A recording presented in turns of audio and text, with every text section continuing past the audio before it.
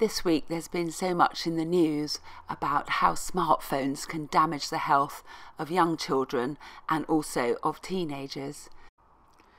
We all know that we need to limit the time that children spend on devices, but it's just not that easy.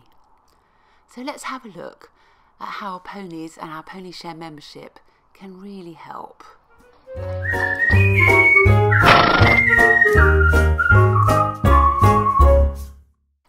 My name is Rosemary and I run Shetland Pony Club with my sister Liz.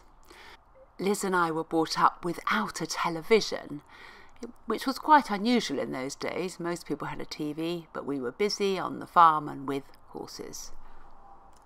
So we experienced a completely screen free childhood. But how childhood has changed. Even when we first opened Shetland Pony Club back in 2008, there were no smartphones. All our bookings were done with a telephone call and a paper diary. But since 2010, the smartphone has entered our lives. With all the convenience it gives us, there's now over a decade of evidence that early exposure to smartphones is not good for our young children and our teenagers. So, what can we do to get the children away from the screens? It's tough for parents, as all society is based around the smartphone. But a pony and a regular riding session can really help the children get away from the screens. It's something they look forward to, they're going to make friends, and they're going to build a relationship with their pony that they're going to really enjoy. Time spent outside in nature, and in particular with an animal, has been shown to lower stress and anxiety. And if the activity is done in a group, with friends that you enjoy, the chances of you sticking with it are high. So, up until 2010, scientists classed childhood as the playful or physical childhood, but after 2010, scientists now refer to childhood as the digital childhood. We will put a link to the science below this video.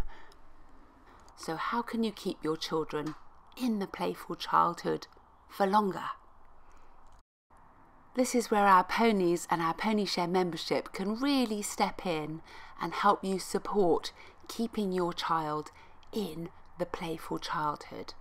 They're outside, they're learning things, they're making friends, and whatever the weather, they want to come and see their pony. It does seem that our ponies, as well as being fun, are now playing an essential part in children's childhood in connecting them with nature and protecting them from the dangers of too much screen time.